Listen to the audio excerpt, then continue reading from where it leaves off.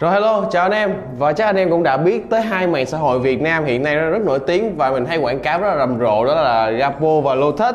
Thì à, hôm nay thì mình sẽ chia sẻ với anh em về hai mạng xã hội này Qua một khoảng thời gian mình sử dụng. Và ok, chúng ta sẽ vào ngay video nha.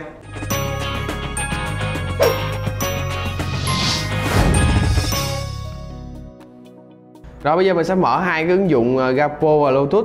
Đây là mình sẽ mở Lotus nè, mình đây sẽ mở Gapo đó đó là hai cái mạng xã hội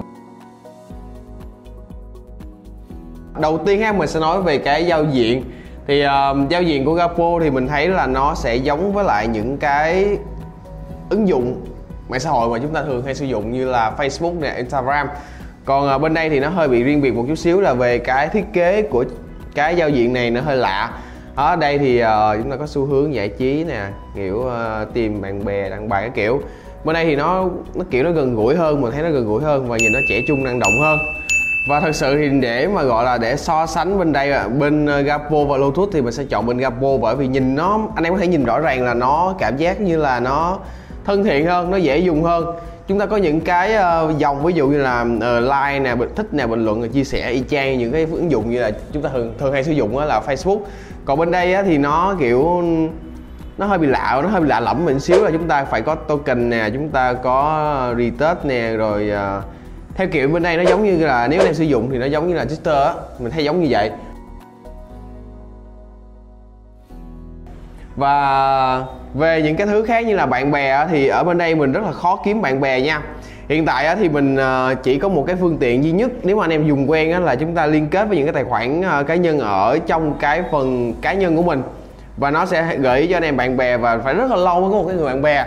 Còn bên đây thì chúng ta dễ dàng có thể tìm kiếm bạn bè bằng cách là chúng ta hay có thể mời bạn từ những cái ứng dụng khác. Và nằm ngay trên cái phần ờ, uh, new feed của chúng ta là uh, chúng ta hay kết nối Facebook nè hoặc là Messenger này. Chúng ta còn nhiều lựa chọn khác ví dụ như là uh, Twitter nè hoặc là những cái ứng dụng khác. Nói chung là nó rất là dễ và chúng ta sẽ dễ hơn có được cái lượng tương tác cũng như là có thể kết bạn dễ hơn và nói sẵn nói về bạn bè thì à, nói về những cái thông tin mà chúng ta có được khi chúng ta xem những cái nội dung của bạn bè á. Là bên đây nếu mà chúng ta có bạn bè chung ha, thì chúng ta dễ dàng có thể vào cái mục theo dõi và chúng ta chỉ xem những cái thông tin của bạn bè chúng ta thôi. Ở đây mình không có xem những cái bản tin khác.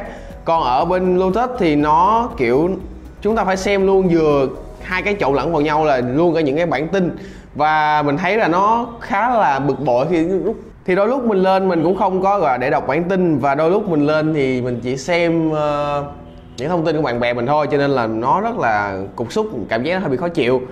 Và mình lưu ý các bạn là mình có thể phân biệt được hai cái một bên thì mình ở bên ở bên Gapo á, thì mình sẽ có cái lượng tương tác với lại bạn bè nhiều hơn. Còn bên này nó giống như là Twitter thì nó là thuộc dạng theo dõi. Nếu mình theo dõi à, bạn mình ha đây ví dụ như là mình theo dõi một người nào đó thì uh, họ theo dõi mình xong mình biết là họ theo dõi mình mình có thể theo dõi lại họ hoặc không. Nó sẽ bị một cái gọi là nó độc lập quá, nó không có cái sự tương tác nhiều. Còn ở bên Gapo thì giống như là Facebook gì mình bấm kết bạn, họ kết bạn với mình là bạn bè. Đó, chúng ta có thể tương tác với nhau dễ hơn và nó thuận lợi hơn. Nói về phần bản tin và quảng cáo á, thì mình thấy rằng là ở bên uh, Lotus thì nó vẫn còn những cái tin tức hơi bị rác. Như em có thể thấy thì chúng ta có những cái khi mà lần đầu tiên mình đăng nhập lên á thì mình chỉ thấy toàn là gái uh, gái và gái. Nó có những cái nội dung thật sự không có phù hợp lắm và có, có gọi là giới hạn độ tuổi á. Nhưng mà ở trên đây thì nó lại uh, không có phân biệt rõ là ừ độ tuổi nào để xem được cái nội dung nào cho nên là nó hơi bị nhạy cảm như thế này đây. Đó thì kiểu vậy Việt Nam Sexy Bike Group. Thì uh, nó kiểu hơi bị nhạy cảm quá cho những cái đứa là chưa đủ những, những cái người những em nhỏ chưa đủ tuổi khi sử dụng mạng á. Thì nó vô tình nó làm chúng ta tiếp xúc nhiều cái không hay. Còn uh, ở trên uh, Rapo mình thấy là nó có được kiểm duyệt một cách tốt hơn. Và tin tức thì nó sẽ có tính mới mẻ đa dạng và có tính giải trí cao và nó chắc chắn là nó sẽ qua kiểm duyệt không có những nội dung nhạy cảm. Đó thì à, mình biết là một số anh em sẽ không thích điều này nhưng mà mình nghĩ là nó sẽ phù hợp hơn với một cái đại đa số người dùng trẻ hiện tại có cả những cái em chưa đủ 16 18 tuổi. Đó thì thông tin nó sẽ bớt nhạy cảm hơn. Thì nó kết luận là những cái nội dung mình có thể thấy mình có thể tóm gọn luôn và dễ hiểu là ở bên uh, Lotus thì nội dung không được kiểm duyệt nè. Uh, nội dung thì có nhiều cái hình thức gọi là hơi bị nhạy cảm quá mình thấy nữa là ở những cái bản tin á đôi khi là nó lại có những cái thông tin của những cái trang uh, báo đến từ Trung Quốc thì mình nghĩ là với cái đại đa số người Việt hiện tại đang có thành kiến khá là nhiều với đất nước này cho nên là mình thấy nó cũng không hợp lý lắm. Ở bên uh, Lotus thì mình thấy rằng là chúng ta sẽ không có nội dung không được kiểm duyệt tốt nè và cùng với đó là nó sẽ không có quá nghe lời người dùng. Bằng chứng là mình thấy có rất là nhiều anh em lên để mà ý kiến về giao diện là ý kiến về cách để họ sửa đổi nhưng họ vẫn không sửa đổi, dù đã qua một bản cập nhật mới rồi. Ở bên Gapo thì không như vậy. Ở bên Gapo thì chúng ta sẽ thấy là nó sẽ lấy người dùng làm trọng tâm và thay đổi theo ý mà người dùng muốn. Đây là một cái điểm rất tốt và mình rất là thích ở cái mạng xã hội Gapo này. Như kiểu việc update đi thì anh em hay thấy là chúng ta sẽ dễ dàng update hơn và chỉnh sửa thoải mái hơn ở Gapo. Anh em nhìn thấy ở đây có một cái giao diện luôn là chụp ảnh nè đăng ảnh này cái kiểu nó giống như là những cái trang mạng xã hội bình thường.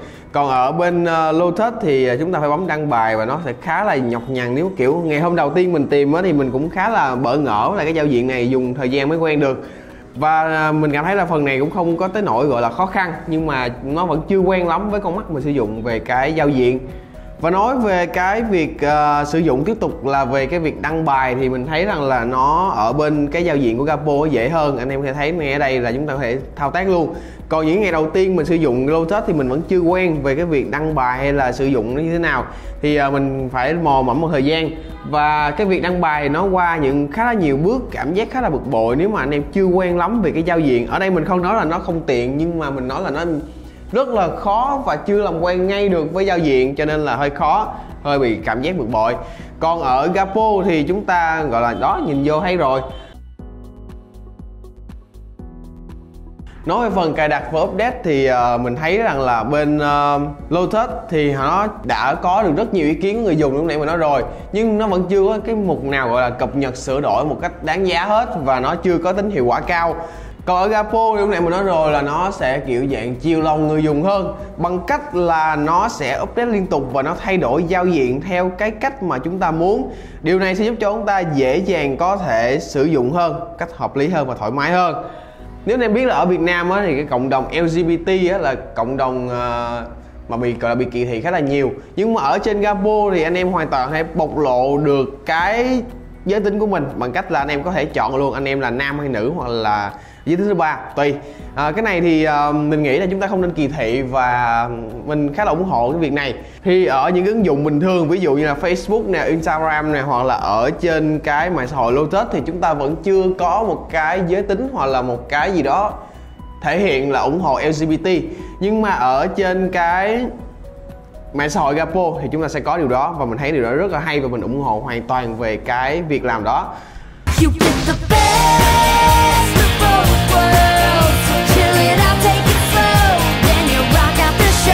Rồi và đó là cái à, chia sẻ của mình về trải nghiệm của cá nhân mình về hai mạng xã hội là Lotus và Gapo. Thì anh em có ý kiến đóng góp hay anh em đã trải nghiệm như thế nào thì anh em hãy comment phía bên dưới và đừng quên là chúng ta sẽ nút like, nút share và subscribe video này. Rồi chào anh em và chúc anh em một ngày vui vẻ. Nhớ cái chuông cái bên nữa để anh em nhận thông báo mới nhất từ YouTube về kênh của mình. Rồi chào anh em.